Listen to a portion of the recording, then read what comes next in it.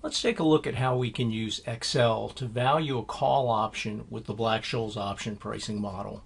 And perhaps more importantly, to show you how changes in the variables affect the price of a put and a call option. So the value of a call from the Black-Scholes option pricing model is actually quite difficult to derive, but it's actually very easy to compute in Excel. So if you look here, the value of the call equals the stock price times n of d1, and I'll explain that in a second, minus k, which is the exercise price, times e to the minus rt. e to the minus rt is just the continuous time present value factor, and then we're multiplying by n of d2. So you're taking the present value of the exercise price, and then you're adjusting it by this n of d2. Now, where does D1 and D2 come from? It comes from these two equations. D1 is equal to the natural log of the stock price over the exercise price plus open parenthesis risk the risk-free rate plus the variance of the stock's returns divided by 2 close parenthesis times the time until the option expires and this is in fractions of a year. So you have to convert the number of days until the option expires into um, the fraction of a year. So if it was 182 days, that would be about half a year. And then D2 equals D1 minus sigma square root of t. And I forgot, there's sigma square root of t in the denominator of this equation. And the reason you get these two different numbers is that you're solving a quadratic. And if you remember from algebra class, that quadratic formula gave you two solutions to the uh, problem. To value the put, we don't have a Black-Scholes put pricing formula, but we can value it using what's called put-call parity. And put-call parity basically says that, well, we set up this um, payoff matrix with a call the present value, the exercise price, the stock price, and the put value. And the put has to equal a certain value for there not to be an arbitrage opportunity. So you may recall an arbitrage opportunity is the case where you can earn a risk-free profit but use none of your own money. So here the put equals the call plus the present value, the exercise price, minus the stock price. So I have an example over here. The stock price is 55. The exercise price is 60. The risk-free rate is 6%. The time until expiration is 220 days, but here I divided it by 365 to get 0.6027. And the, the uh, standard deviation of the stock's returns is 31.62%. So the best way to do this Okay, I've given this as an assignment to students, and oftentimes they try and do everything in one line. But the best way to do it is to do separate pieces of it. Because if you have one long equation here in Excel, it's very hard to find a mistake where you put the parenthesis in the wrong place or something like that. It's much easier if you do one piece at a time. So here I have the natural log of S over K, um, this part in this parentheses here. I have sigma times the square root of t, which is in the denominator here, and we'll use it here as well. And then we can calculate all of this um, quite easily. So let me show you the formulas. So here, I'm just using the ln function, and in Excel you have to start with an equal sign to get the um, function to work ln is natural log of b1 over b2, so stock price over exercise price, and then r plus sigma squared divided by 2 times t, right here, is going to be b3, which is the risk-free rate, plus b5. I gave you the standard deviation, so you need to um, square it in order to get the variance and divide it by 2, and then I multiply by b4, which is t. And then sigma square root of t is b5, which is sigma, times the square root of B4, etc. Okay, and down here, once I calculate D1 and D2, so once I've calculated these, I can figure out D1 and D2. It's just this plus this divided by um, this right here. I have to figure out this this um, ND1 and ND2. So let me go back to the my information here.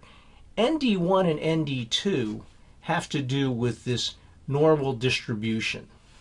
And you've done it in stats class, and you've probably looked up the numbers in the table in the back of a book, where this is a standard normal distribution with mean of 0 and standard deviation of 1. So remember that the normal distribution is symmetric and it's also a probability distribution. So the area under the curve, the total area, should add up to 1 or 100%. Because it's symmetric, half the values lie to the left of the mean, half the values lie to the right of the mean. So let's say we had, they use x here instead of d1 and d2. Let's say x was equal to the mean here, right here. Then the area under the curve would be 50%. Here it's more than the mean, so this area is going to be greater than 50%. Now, you used to look it up in a table in the book, in the back of your stats book, but you don't have to do that because Excel has a function that does that for us. So let's go back to our formulas here, and it's norm s dist B10. So it's saying find this normal standard distribution for B10 and find it for and B10 is D1, and also find it for D2. We also calculated this present value factor, exponential of minus B3, B3 is R, times T, and then so the call option is going to be B1 times B12, B1 is the stock price, minus B2 times B15, this present value, the exercise price, times B13.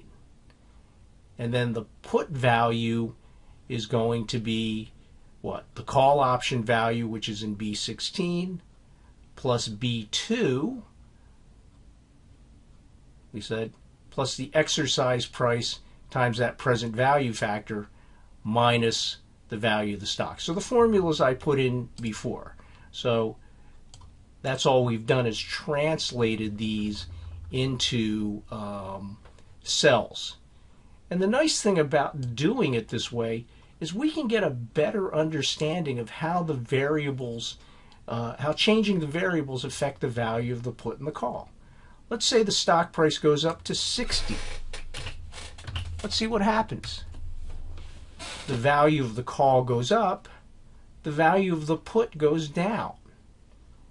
Right? Because the call option allows you to buy at the exercise price regardless of what the stock price is. So a higher stock price, um, and that's the current stock price, that's not the future stock price, is going to be good for the call option. But it's bad for the put option because the put option is a case where you sell at the exercise price. And a higher stock price means it's less likely that this put option will finish in the money. Let's go back to our previous numbers, 55. So we have 420 and 7, 707. Let's see what happens if we change the exercise price. So let's change the exercise price to, well, we'll make that 55. Actually, let's make it uh, 50. What happens? Lower exercise price. The exercise price is the price you can buy the stock for from the call option. That makes it much more valuable, right? Being able to buy at 55 is much better than being able to buy at 60. But the exercise price is the sell price for the put option. So that means you can sell it at a lower price. Uh, and so that's not as good, right? Being able to sell it at the higher price is better. So again, let's go back to our, our previous numbers here and see how things change. What about the risk-free rate? Okay, not as obvious here how that changes. So let's uh, let's increase the risk-free rate to eight percent. What happens? The value of the let's see. Well, let's go back to let me go back to six percent. Let's see. This is 420 and this is 707. If we increase the risk-free rate to 8%, the value of the call goes up, the value of the put goes down. Okay, so we get some understanding of what's going on here. How about if we change the days until the option expires? We'll go back to our original example. Let's make it uh, shorter. Let's make it 90 days. What do we expect? Well, if the contract expires in 90 days instead of 220, we would think that the value of both the put and the call go down, right? You don't have the right but not the obligation to buy the stock in the case of of the call or to sell the stock in the case of a put. So lowering that should reduce the value of the put and the call. Let's see what happens. Sure enough, it does. It reduces the value of the call and the put. Okay, then we'll go back to our original example. And what else do we have here? Sigma, standard deviation. Normally, we don't like standard deviation of returns. We don't like a lot of risk. We don't like a lot of fluctuation. But an option's different. We want the option to finish in the money.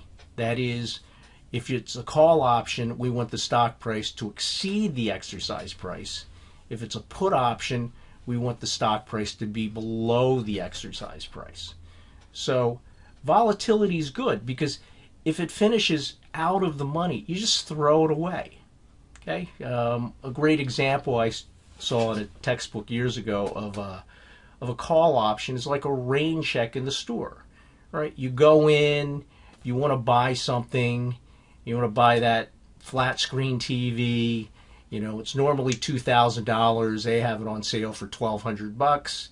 They don't have any in stock. They say, look, here's a rain check. They give you a little stub or something and they say, come back on Tuesday, we'll have more in stock, you can buy it for 1200 So you're driving home, right? So you have the right to buy the TV at 1200 but not the obligation. You're not obligated to buy it. You're driving home, you stop at a different electronics store, and they have that same TV, and they have it in stock, and it's selling for 1100 It's even cheaper.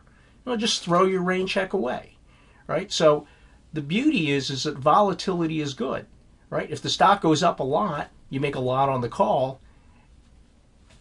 If it goes down, you just throw the call away, and vice versa for the put. So let's see. Let's increase this volatility to, I don't know, 60%. What happens? Sure enough, that increases the value of the call and the put. So you can see how these different variables affect the prices of puts and calls by setting this up in Excel. Okay, and again, I, I really strongly recommend that you do this in little pieces like this. It's much easier to find the mistake. It's sort of good programming skills, right? They'll tell you if you've taken a um, some sort of computer programming class that you write little routines and you document them. So easy to see what you did. So if there's a mistake, I can see it here or here. It's much easier to find it. But more importantly, it gives us a chance to change these numbers and to see how it affects the price of the put and the call.